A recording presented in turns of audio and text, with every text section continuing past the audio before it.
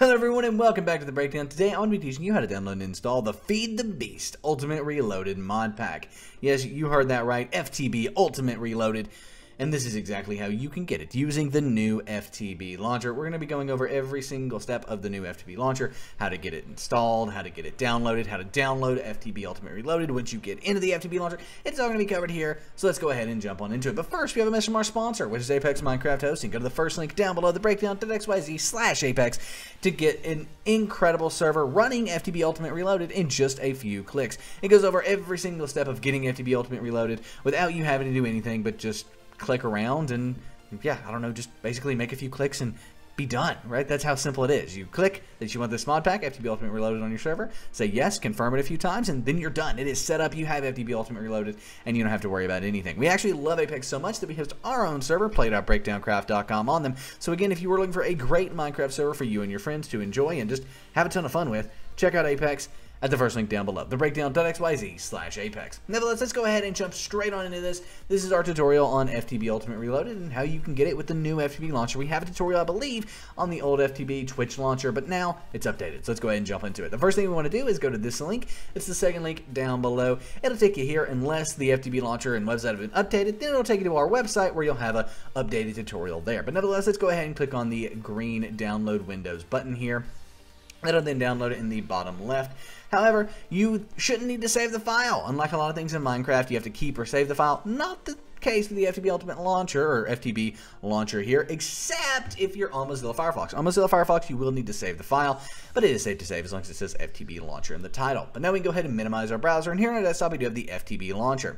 If this is in our desktop, no worries, it's in your Downloads folder, and to find it, click the little Windows icon. For me, it's in the top left. For you, it's in the bottom left of your screen, but just click on that little Windows icon in the bottom left, and when you click on that, go ahead and type in Downloads right like so. Then you have this downloads file folder in Windows. Click on that and you'll have the FTB launcher hidden inside. Drag that to your desktop just for ease of use. Once the FTB launcher is on your desktop, you can go ahead and double click on it to start the installation process. It's very, very simple and very, very easy. However, I forgot to delete it before this video, so let me go ahead and do that real quick. There we go. Now, if we go ahead and double click on the FTB launcher, it'll open up something like this, where you then just want to go ahead and click on the apply button here, and it will go through, load, download, and do everything that you need to do. It's very, very simple. It's just click apply and it's done, but I did, did want to make sure that it was the exact same as what you were seeing. Once you're here, go ahead and scroll up to the top of the mod packs list here, and you'll be able to see there's FTB Ultimate Reloaded. Now you can click on that, but before we jump too far into this, I want to click on the options tab up here. The reason for that is I'm going to add more RAM. Now this mod pack is going to require a decent amount, at least 4 to 6 gigabytes of RAM, but I'm going to throw 8 gigabytes of RAM at it just because I have that much RAM and can do that. Be sure to not ever, you know, use more than half of your RAM for Minecraft, but since I have 32 gigabytes, 8 gigabytes is not a problem. And then I'm going to go ahead and click on FTB mod packs here. Make sure that FTB Ultimate Reloaded is selected. You might have to scroll down the list a bit, but there it is. And then once that's selected, come down here to the bottom right.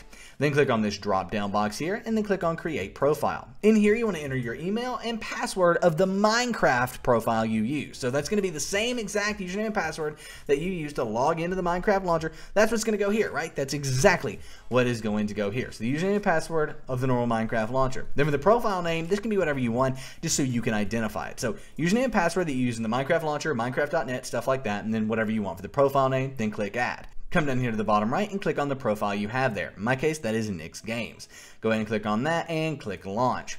And then go ahead and open up the FTB Ultimate Reloaded mod pack. Get everything installed, do everything it needs to do. It's going to take a while though. It's not going to be super, super fast. However, the download process itself was actually pretty quickly there, or pretty quick there. Yours may be a little different. I might have had some leftover remnants of this mod pack on my computer somehow, but what is not going to be too different is uh, this sort of thing. It's going to take a while to start up here. I mean, literally minutes. It might take half an hour, depending on how much RAM you have dedicated to Minecraft, to get this started up and get this running. As you can see, it's easily eating three, two to three gigabytes of RAM early in the startup process, and it will get up to five gigabytes of RAM. I have no doubt about it. So I'm to go ahead, let this initialize over 200 mods, and then once it's done, we're going to go ahead and meet you on the main menu to show that it's working and jump in game to kind of show you around just a hair of the FTB Ultimate Reloaded mod pack. So I'll see you after a quick jump cut and uh, continue on with this tutorial. Here we are on the FTB Ultimate Reloaded main menu. As you can see, single player support, it is all here and it is all custom. Yes, this is Minecraft. If you look up here in the top right, it's Minecraft, but it's all custom, it's all different.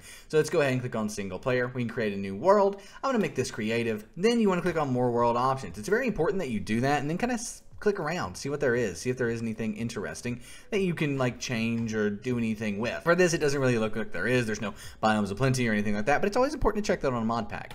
Then you can go ahead and click done and create your new world. I'm gonna do a quick jump cut here because I always like lag a little bit when the worlds are creating, so I'm gonna do a quick jump cut, and then after that, we will finish the tutorial right on off. All right, here we are, spawning looking directly at a piece of grass, but this is FTB Ultimate Reload, if we hit E here, we'll be able to see all of the different blocks and block types on creative mode that are set up and like we can, you know, check out. It's, it's all here and um, over 115 pages and not enough items.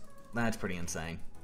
Yeah, that's a lot. Anyway, um, yeah, so even these trees are custom. I've never seen any evergreens like that in normal Minecraft, that's for sure. And even these biomes, look at those extreme, almost as like an amplified biome setup. And then we do have a custom biome here. We've got a volcano that we spawned right next to. This is actually a pretty good pretty good seed there. So there it is if you all want it. But um, yeah, so that is how you can download and install FTB Ultimate Reloaded in Minecraft. If you have any questions about it, let us know in the comment section down below and enjoy the FTB Ultimate Reloaded mod pack. This is one of, uh, in my opinion, the best FTB mod packs ever made. So yeah, I'm saying that right now. I'm sure they'll have some pretty cool stuff coming out pretty soon for newer versions, but as far as you know, old FTB mod packs go, this is one of the best ones ever, in my opinion. But nevertheless, thank you also so much for watching. If you enjoyed the video, give it a thumbs up. Come play with us on Play.BreakdownCraft.com, the best Minecraft server in the multiverse. We have grief-protected survival, custom skyblock. It is absolutely incredible, and you will absolutely love it. Over 200 players online nearly every single day. So come play with us. Play.BreakdownCraft.com is the IP. Nevertheless, my name is Nick. This has been The Breakdown, and I'm out. Peace.